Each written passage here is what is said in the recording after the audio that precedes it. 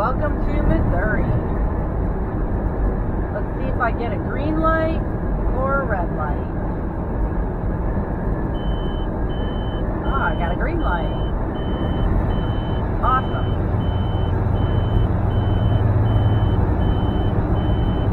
Nine o'clock in the morning. Just hit Missouri about a mile ago.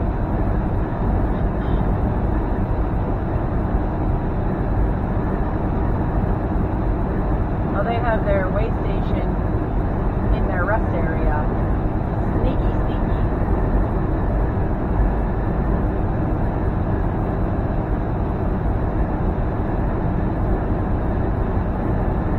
There's a couple of places that do that. I think Pennsylvania does that, West Virginia. There's a couple of states that have that set up where they have, like if you pull into the rest area, you end up at the way station too. Oh, there's another one? What is this? Way station, next right, open. Maybe there's another one? Or this is the way station? Oh, this is the way station. I thought it was back there because of how far back I got that green light. Doesn't appear that they have any overnight parking, so I will note that. Maybe a couple. I couldn't see if they had any signs. Some states allow overnight parking at way stations, and some do not. It just depends on the state and what their uh, what their DOT regulations are. I think a lot of Ohio way stations do not allow overnight truck parking. Um, Arkansas, at least the one that I saw right by uh, the Tennessee border, right by Memphis, they do not allow overnight parking. Um, but a lot of a lot of the states actually do, which is nice. Come on, TMC. You got this. Oh, look at you. Your truck's nice and shiny as you come over into my lane. Still coming over to my lane. Jeez, dude. Like, it's not that hard to merge on an on-ramp. Holy crap. Anyways, one of my pre- preferred places to stay is way station. So I always take note of the uh, way stations that allow overnight parking and the ones that don't. I'm on 44 right now, obviously Missouri. So sometimes Google will have that information. Sometimes Trucker Path does, but it's not always reliable because sometimes they're under construction and they're closed and they have barrels up.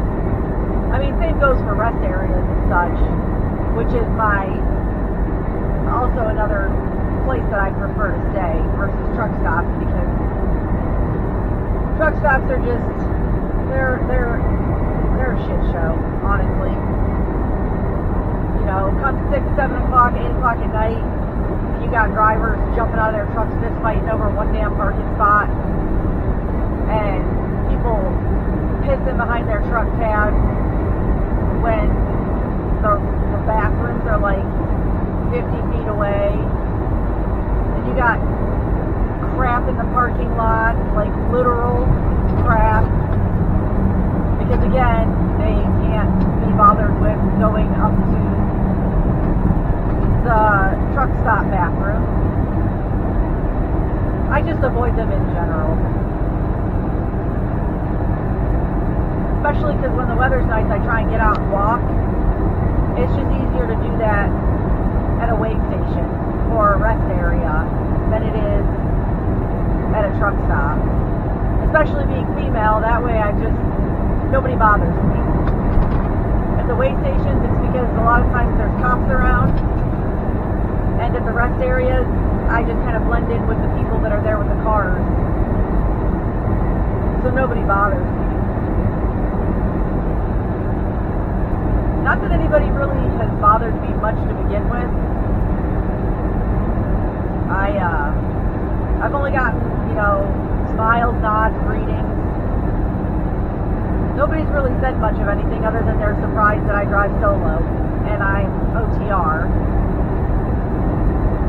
Like, it, it's hard for them to comprehend that women are capable of doing that and willing, and I actually enjoy it. So I, I guess some, it's just harder for some of these guys to um, see that because it's not an easy lifestyle, that's for sure. And I, I say lifestyle because trucking is a lifestyle. You don't just work 9 to 5 Monday through Friday.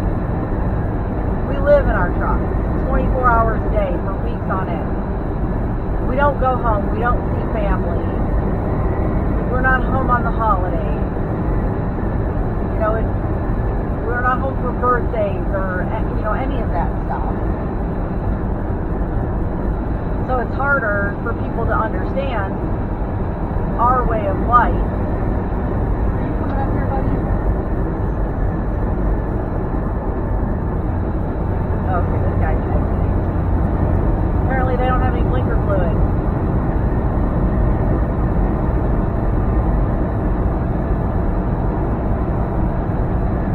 So yeah, if you've ever thought about getting into trucking, just realize that you're going to miss out on a lot of life. And this has to be something that you're passionate about.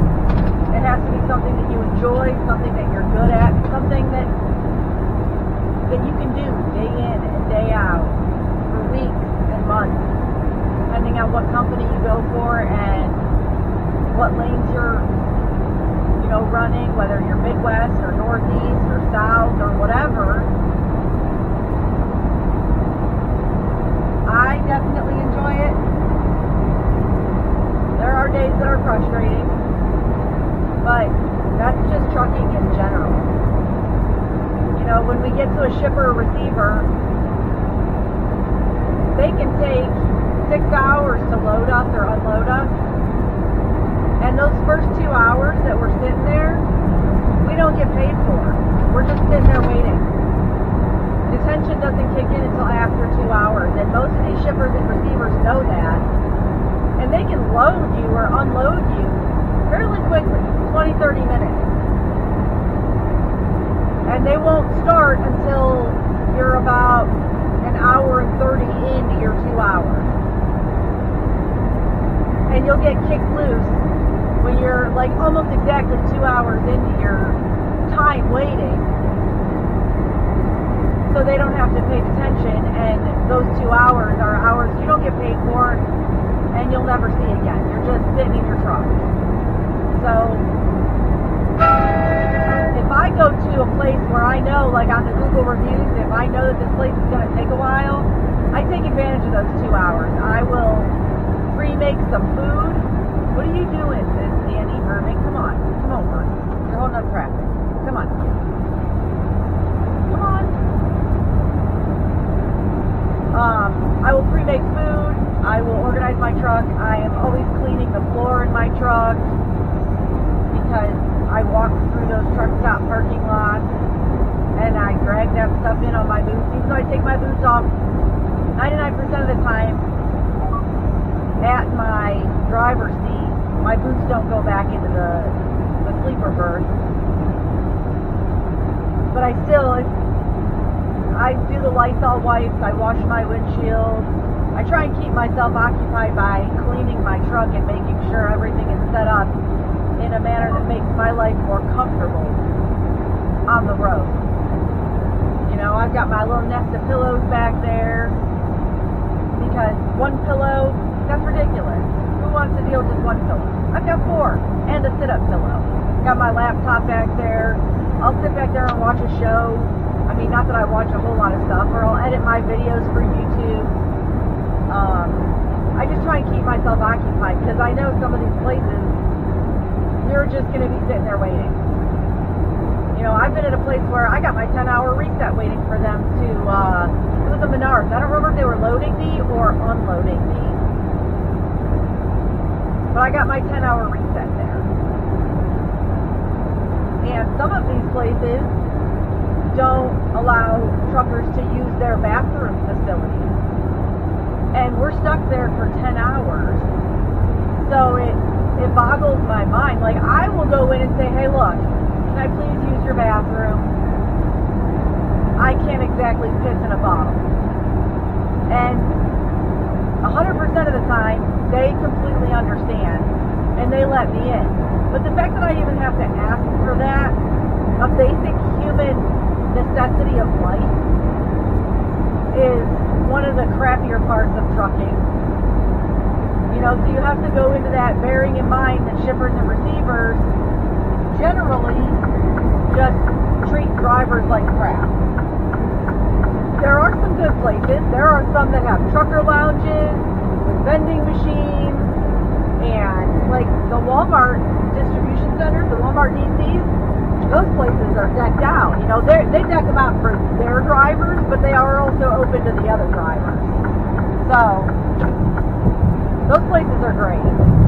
But then there's places that you go to that they're like, no, sorry, we don't have public bathrooms. I'm not the public. I'm delivering stuff to you. And, and they don't understand. They're like, no, sorry. I, I hear that all the time from other drivers, you know, or even on a Google review. They don't have bathrooms for truckers. You know, so if that's something that you've ever thought about getting into, just these are things to keep in mind and and contemplate if it's something that you can tolerate being told no, you can't use the bathroom. Or having, if I go to a shipper and a receiver on the same day, and the shipper keeps me for two hours, and then the receiver keeps me for two hours, that's four hours out of my day that I'll never get back and I'm not getting paid for. Because it's two hours at every every dock that you bump. So, oh yeah, you can come on over. Cut me off with 70 feet. That's not enough clearance. My sensor in front of me tells me how far up ahead they are when they cut in front of me like that. Anyways, just food for thought, things to contemplate as I'm driving from Texas to Wisconsin and sharing this uh, OTR run with you guys. Anyways, probably more later. Thanks for joining.